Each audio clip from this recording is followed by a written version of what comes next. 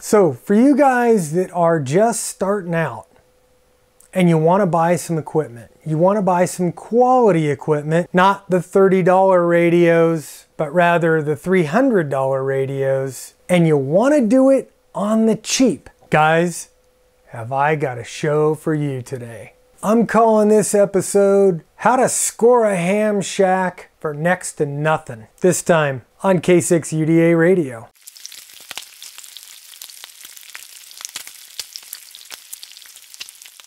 Here's a quick update and a mini review of the MFJ 148RC dual time zone clock.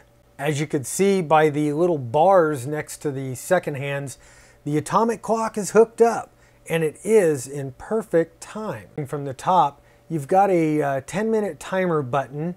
So when you're in a super long QSO or you're running a net, you know uh, when you've legally got to throw that call sign out. There's also a backlight button on the top, which emits a really nice, even amber light for about five seconds.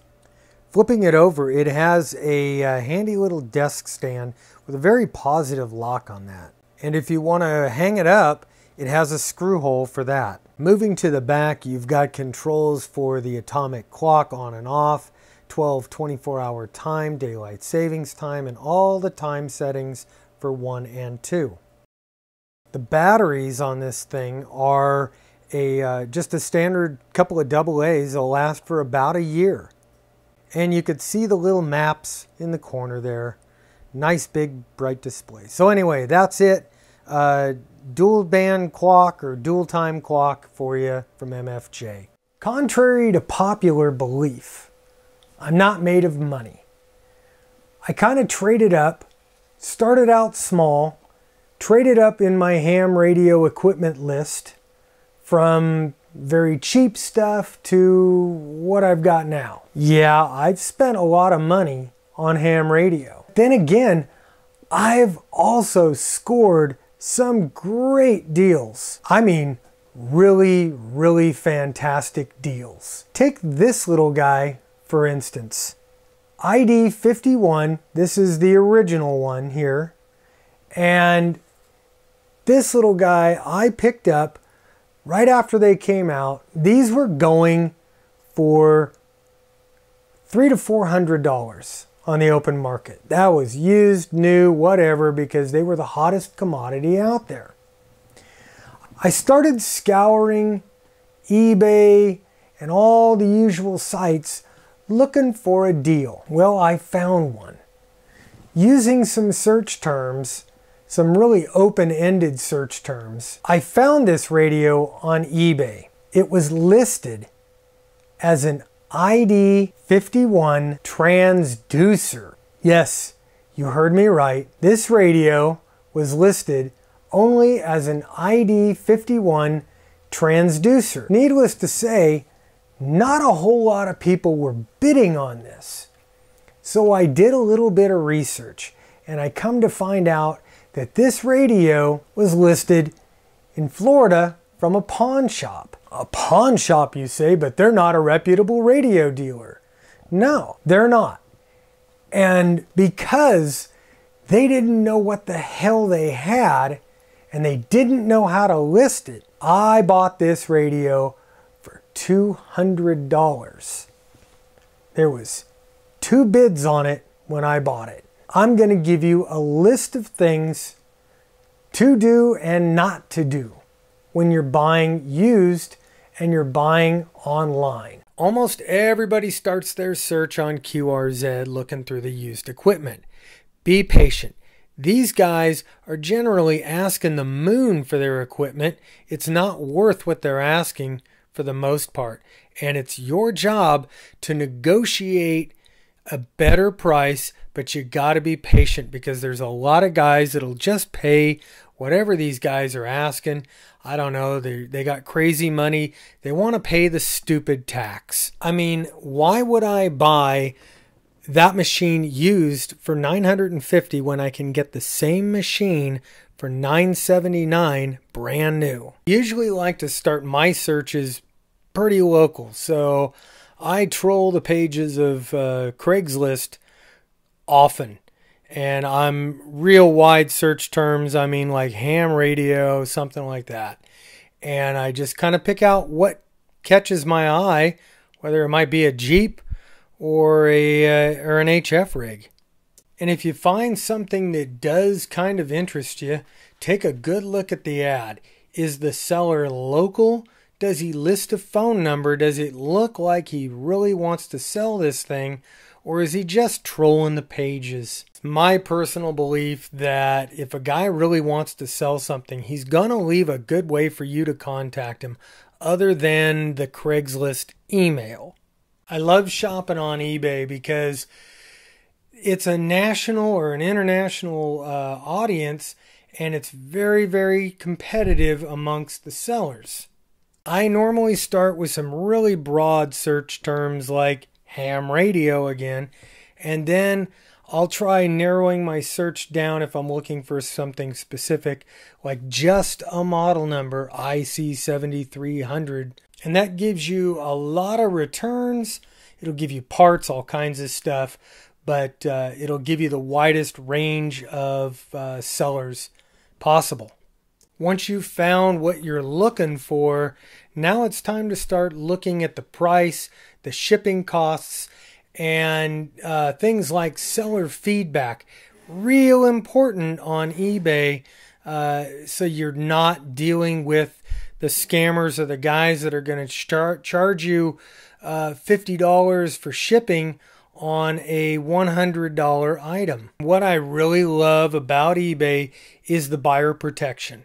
Look, if everything is everything in the ad, if you uh, if you look at the ad very carefully and it says it's working perfectly or it's brand new, it comes with all the accessories and it doesn't, and your seller won't make good on it, eBay is going to make good for you on it and they'll take the money right out of the seller's pocket. And yeah, when you come across these seemingly really good deals, you want to look at number one, the seller's information, their feedback, and uh, all that good stuff. And then number two, carefully read their description because this guy obviously either doesn't know what he's got or he's setting you up to buy a piece of junk.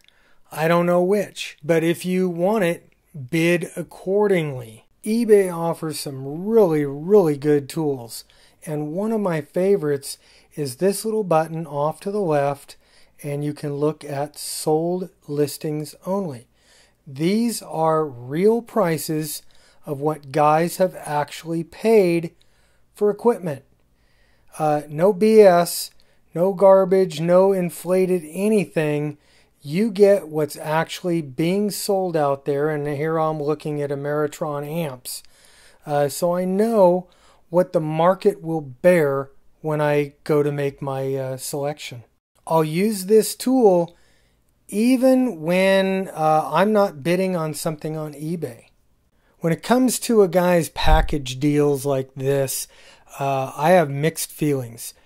On the plus side, the guy's taken the time to match up an a tuner, a radio, and a power supply, but what at what cost uh, to you? Can you buy these things separately for a lot less money?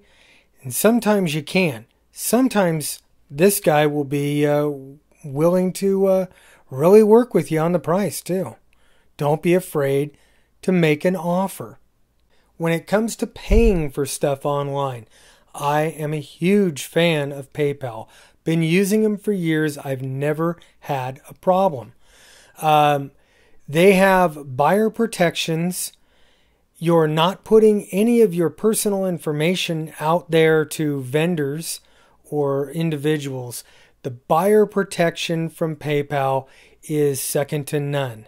Look, I've been uh, I've been ripped off on eBay or other sites, and when I use PayPal and I don't get what I pay for, or I get less or it's busted or whatever, and the seller will not cooperate with me, PayPal has always stood behind me and refunded my money, and they go after the seller. I don't care what happens after that. I've got my money back. I almost forgot, guys. I'm giving away a radio. What's in the box? Nice. Hey, remember guys, keep subscribing. At 5,000, we give this bad boy away. And I'm going to ship this thing back to uh, Elecraft. They're going to check it out and they're going to send it to you factory fresh all over again. Here's how this works. 5,000 at 5,000 subscribers, contest starts. That's when I ask for submissions. Not before, not after. Here's what you're going to do. 130 words or less, or a 30 second video. Guys, I got nothing else. So I guess that's it for me. Um, happy hunting online, and uh, and I hope you score the radio of your dreams. So anyway, guys, I'm Bob. I'm K6UDA, and I'm out of here. 7-3. Remote system linked. And because the lawyers all said that I had to put this up here, here it is. All the little rules.